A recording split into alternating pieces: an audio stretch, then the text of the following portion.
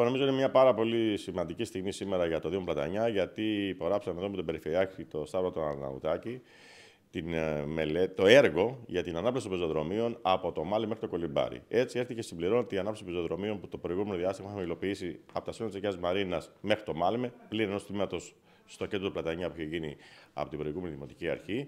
Και έτσι θα έχουμε συν 12 χιλιόμετρα πεζοδρόμια πλέον επί της ΠΕΟ. Ένα πάρα πολύ σημαντικό έργο. Ξέρω ότι είναι μια περιοχή με μεγάλο αριθμό επισκεπτών. Άρα θέλει και να υπάρχει ένας μεγάλος αριθμός ασφάλειας όλων αυτών των ανθρώπων. Φυσικά είναι και μια περιοχή όπου και οι συντοπίτες μας πλέον έχουν μόνιμες κατοικίες εκεί.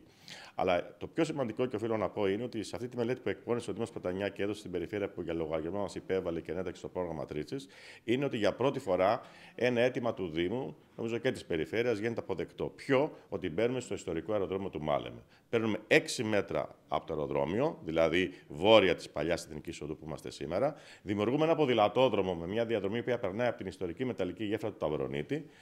Ε, Συγχρόνως αυτό έρχεται και ανακουφίζει αυτούς που θέλουν να περπατήσουν όχι πάνω στο δρόμο, που και εκεί θα έχουμε πεζοδρόμιο, αλλά σε μια διαδρομή η οποία θα είναι προστατευόμενη με μπάρες από τον υφιστάμενο δρόμο. Και βέβαια είναι το πρώτο βήμα, εφόσον μπήκαμε στο ιστορικό αεροδρόμιο του Μάλεμε, να πάμε στο στρατηγικό μας στόχο, που δεν είναι άλλος να πάρουμε το χώρο για να δημιουργήσουμε εκεί μια έκθεση σε ό,τι αφορά τα ιστορικά κοιμήλια της μάχης της Κρήτης, αλλά βέβαια και ένα μουσείο το οποίο θα είναι ψηφιακής και εικονικής πραγματικότητας.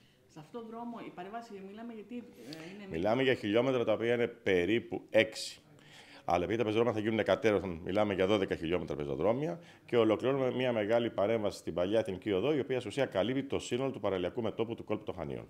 Και σε αυτό το σημείο έχουν σημειωθεί αρκετά ατυχήματα; Και ατυχήματα έχουν σημειωθεί και επικίνδυνα είναι διότι υπάρχει η ανάγκη του να υπάρχει η πρόσβαση προς την παραλία. Έτσι. Και σε συνόηση και με την τεχνική υπηρεσία της περιφέρειας και την τεχνική υπηρεσία του Πλατανιά, θα δούμε και τα θέματα που αφορούν τα όρια ταχύτητα στο σύνολο της παλιάς Εθνικής Οδού μέσα από μια μελέτη κυκλοφοριακή. Λέμε λοιπόν για το κομμάτι της παλιάς Εθνικής Οδού εντός των ορίων του Δήμου Πλατανιά, από το Μάλεμε μέχρι το Κολυμπάρι, το τελευταίο κομμάτι το οποίο δεν είχε ε, διαμορφωθεί όπως έπρεπε, διότι η περιοχή ναι, δεν είναι παλιά εθνική οδός, αλλά έχει αστικοποιηθεί σχεδόν στο σύνολό τη, πολλές εμπορικές χρήσεις και κυρίως πολλά τουριστικά καταλήμματα έθεν και έθεν. Επομένως, υπάρχει πάρα πολλοί κόσμος ο οποίος περπατάει εκεί και έχει ανάγκη και αναψυχής αλλά και προστασίας από τα διερχόμενα αυτοκίνητα.